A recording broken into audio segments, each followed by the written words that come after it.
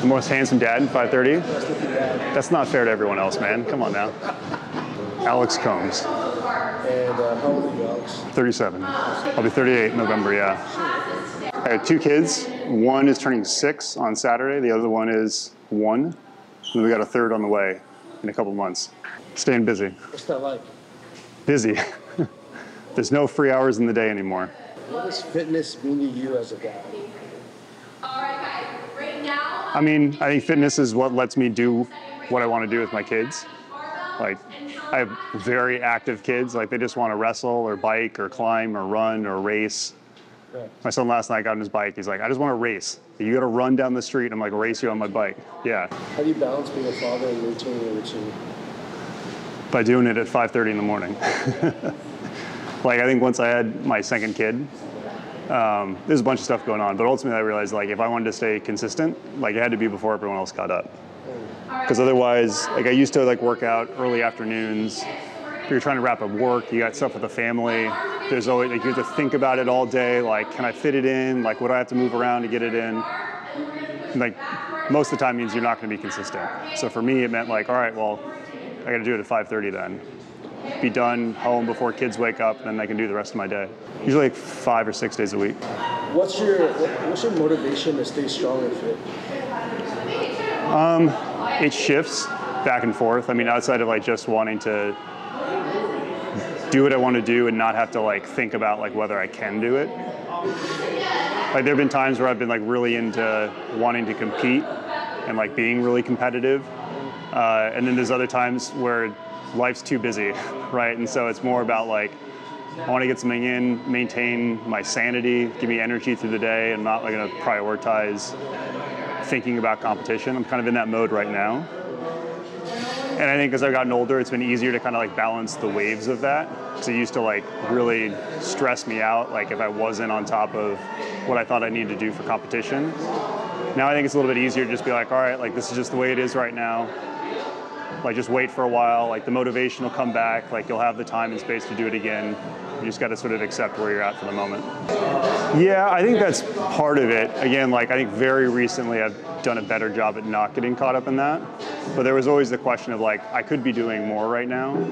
Like I got I got 30 minutes free. Like I don't need responsibilities for the next 30 minutes. Like I could fit something in here.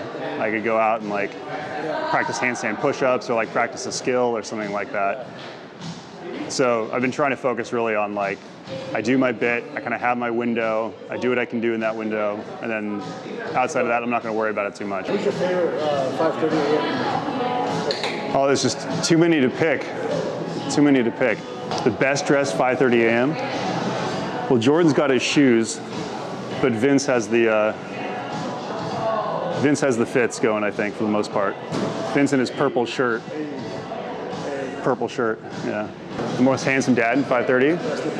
That's not fair to everyone else, man. Come on now. I don't know. I think it just sort of like reframes. I think you have to just think a little bit more about like why you're doing it.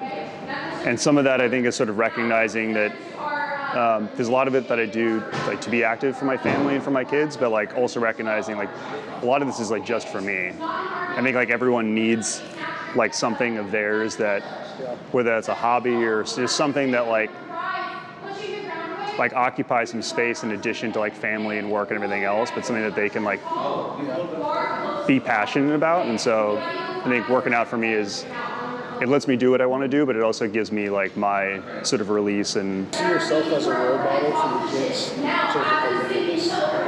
for sure, for sure. I mean, I think that I'm sure plenty of people like come to it and find it like without necessarily having like a really immediate role model, but I know it's not going to hurt, right? So I think it's important for me to, for my kids to like see me working out and see me pushing myself and see that it's like good to do hard things. Um, and so like my oldest son will come to the gym with us every once in a while, and like he just wants to play in the equipment and stuff. But he also sees me doing rowing intervals, and the fact that it's not comfortable.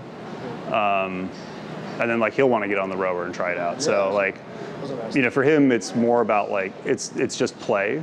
But I think the more that you see that, and the more that that's just normal, like the more you're going to just incorporate that into your life naturally. I mean, I think it's just like, it, there's the time piece, but I think what's more important about the timepiece is just wanting to feel like you're doing a good job at everything. And like some days that's not going to happen. like some days you're going to do a good job at some things and not others. Um, but I, I, think that's the hard part is like getting to the end of the day and be like, did I, like, did I do a good job today? Like, did I do everything that I need to do? Like, did, was I the best version of a dad I could be? Best version of a husband? And again, like, not every day is going to be perfect, but I think it's sort of working through and like knowing like, hey, like you don't any free hours anymore. Like everything's going to be used up, um, and then just making sure that you feel good about like how you use that time when the day wraps up. I would say my wife, my wife knows who I am at this point. Like she doesn't necessarily share like a lot of the like kind of physical hobbies that I have, um, but she knows that it's kind of what I need to keep going and uh, it's what I'm passionate about. It's what my outlet is, um, and so she's supportive of it. Um, but certainly early on, it was new to her. like, oh, like you do, like you're working out like twice a day. Like, why, why on earth would you work out twice a day? Uh, so it was a growing experience together. Like, this is just kind of what I'm into. Like pre-kids, it's just like that's what I do for fun. Um, and then post-kids, just sort of knowing that like that's part of what kind of I need to be at my best. And I think we try and be really open and talk about and communicate like again how we're spending our time and you know we jointly sort of coordinated and talked about like hey 5.30 is probably the best time for our family for you to do what you need to do and like still be able to take care of the kids and like do everything else we need to get done so. Not smooth. Like i wrapped up college. I was so burned out on playing soccer so i've been playing since i was in kindergarten. And like i just stopped. I was like i graduated i didn't do anything like, and I spent a couple years like not doing anything until I got to the point of like, you know, I was heavier than I wanted to be. Like I wasn't fit anymore. I think that was a hard transition because, especially you're playing organized sport, like things are all mapped out for you. Like you have a season, you have an off season.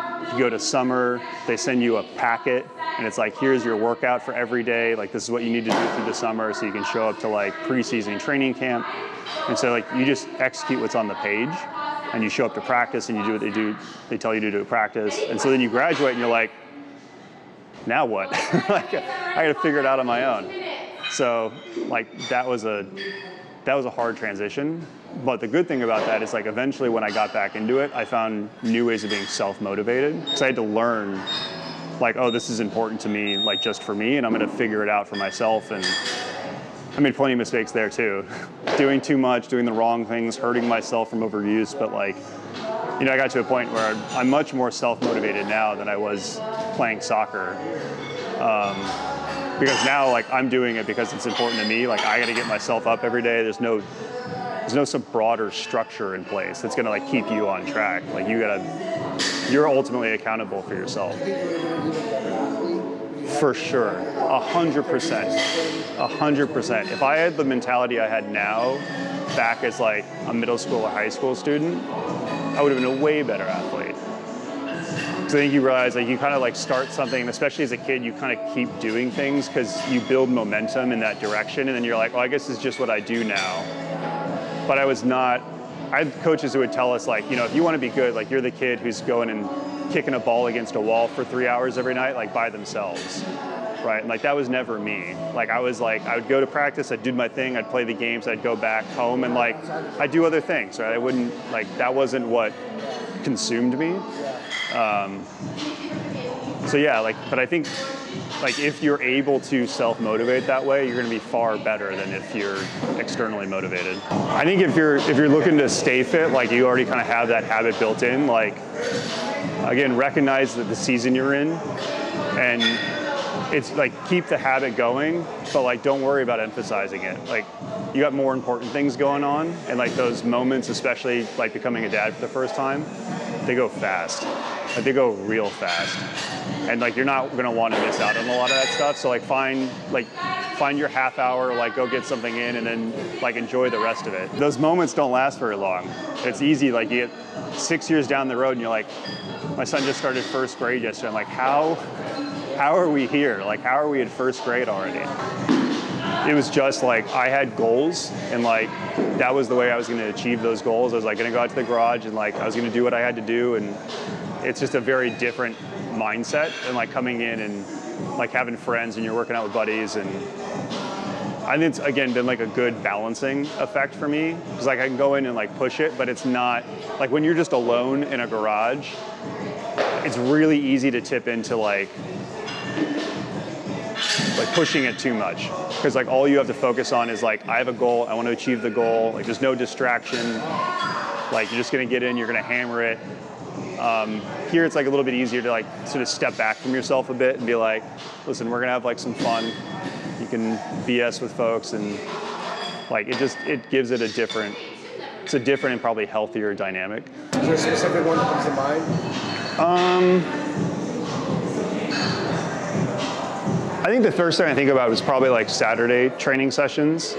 Like and I don't know if there's like one, maybe like just thinking about like some of like the early Saturday sessions because they're always partner workouts. And I had like never done a partner workout in my whole life because I worked by myself in the garage.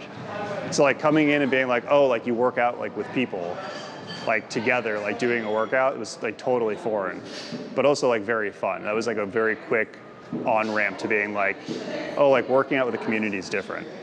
Um, so I think that that's kind of like what stands out, like that, like kind of coming up to speed, like starting to work out with people for the first time on Saturdays. That was cool. Any last words? Just keep going.